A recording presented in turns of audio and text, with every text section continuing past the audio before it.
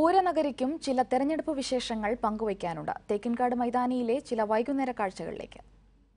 തെരഞ്ഞെടുപ്പ് മാത്രമല്ല തൃശ്ശൂർക്കാർക്കിത് പൂരക്കാലം കൂടിയാണ്. തേക്കിൻകാട് മൈതാനിയിലെ ചില അപൂർവ കാഴ്ചകളാണ് ഇവിടുത്തെ ചീട്ടുകളി സംഘങ്ങൾ.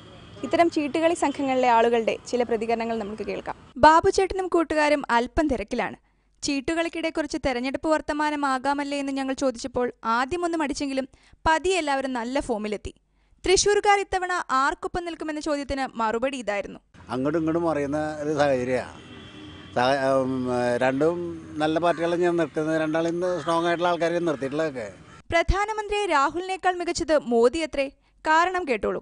ഇപ്പൊ ഞാൻ പറയാം ഗുജറാത്ത് സൈഡിലും കൈക്കൂലി മേടിക്കാത്തവരില്ല അവിടെ കൈക്കൂലി നൂറ് രൂപ മേടിച്ചു കഴിഞ്ഞാൽ എഴുപത്തഞ്ച് രൂപ ജനങ്ങൾക്ക് വേണ്ടി അവർ ചെലവ് ചെയ്യും. ഇരുപത്തഞ്ച് രൂപ പോക്കറ്റിലിടും ഓക്കെ പുത്തൻ താരോദയം കെജ്രിവാളിനെ കുറിച്ചും ചിലത് പറയാനുണ്ട്. അത് ചിന്ന പയ്യൻ. ഒരിക്കൽ പരീക്ഷിച്ചതാണ് ഡൽഹിയിൽ